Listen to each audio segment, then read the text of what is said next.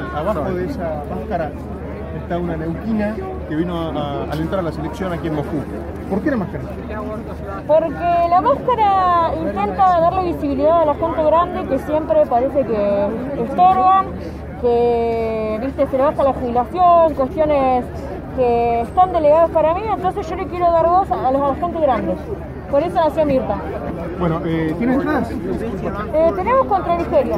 Bueno, o sea que... Así que Mirta va a estar en eh, versus Nigeria y vamos a estar inventando el equipo esperando que pasemos la primera ronda y nos quedamos todo el mes en Moscú. ¿Cómo es la recepción de los rusos con Muy ustedes? bien, son muy cariñosos, eh, secos, pero muy amables, la policía muy amable y nos están recibiendo muy bien, estamos muy contentos.